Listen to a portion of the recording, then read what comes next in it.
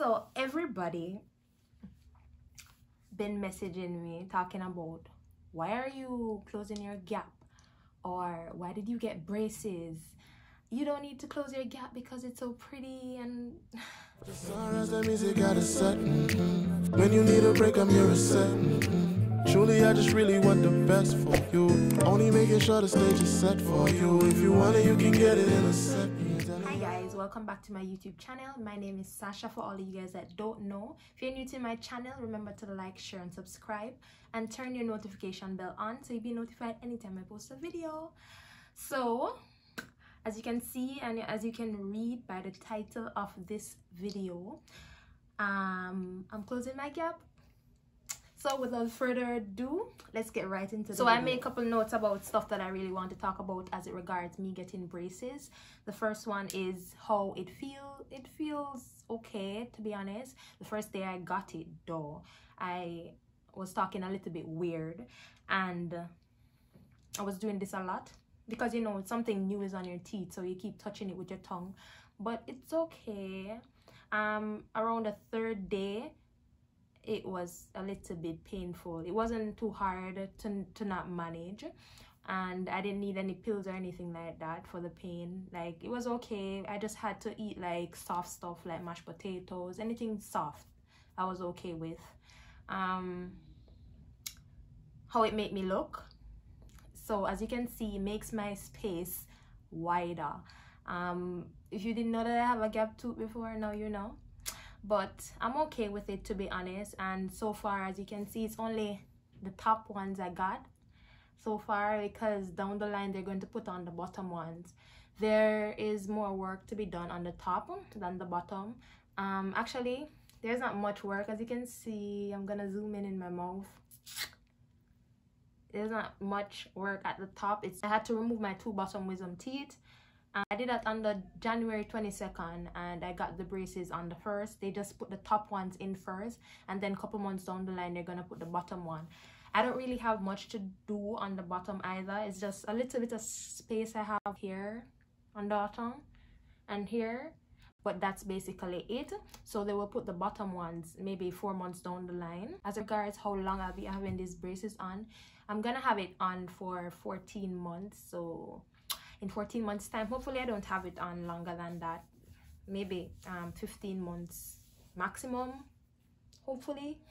But i don't have a problem having it on and the top one doesn't feel bad. And when they put on the bottom one i don't think i'm gonna i think i'm gonna get used to the top one the feeling so it's not gonna be that bad when i have on the, the bottom one. It's just when i'm talking to people no like without mask that is like anybody that i'm close with you, it's obvious that i have braces on. Like you can see the space because the braces is there. It's just obvious than ever. That's the only thing i don't like but i'm okay with it to be honest. So why i actually got braces. So many of you guys probably don't know this but i always had a little bit of space between my top teeth um from i was younger.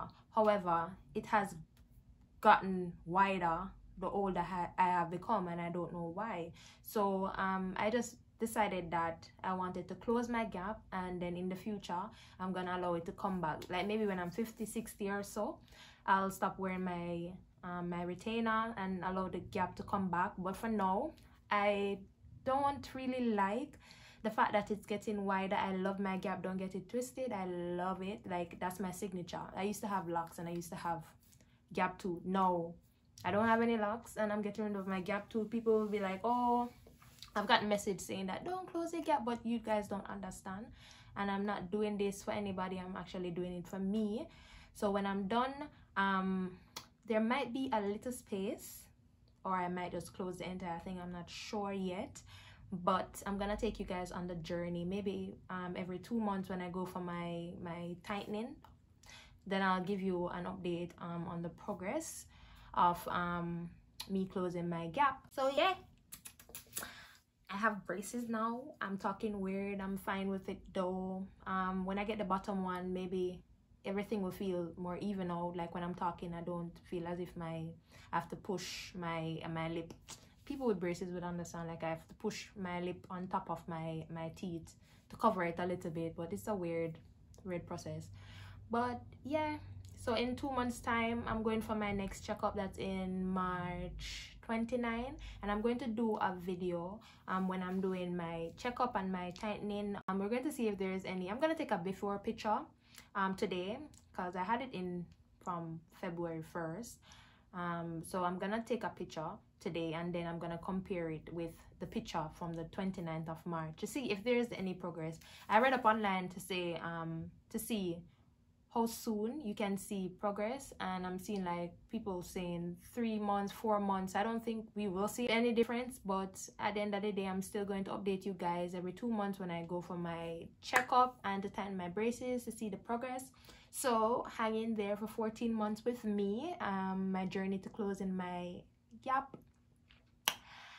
yes! So that's basically it. it's a quick video. Um if you have any questions as regards um, me getting braces like if you want to know more about the cost etc just leave a comment or if you have any additional questions that you want to ask it doesn't have to be um, relating to money feel free to leave it in the comment section and I know I, I'm looking weird talking right now with the braces on but you'll get used to it. So that's the end of my YouTube video. Thank you once again guys for checking in on me. This is the update as it regards what's going on in my life. And remember if you're new remember to like share and subscribe and turn the notification bell on so you'll be notified anytime i post a video. So until next time i'll see you in my next video. God bless you guys. Bye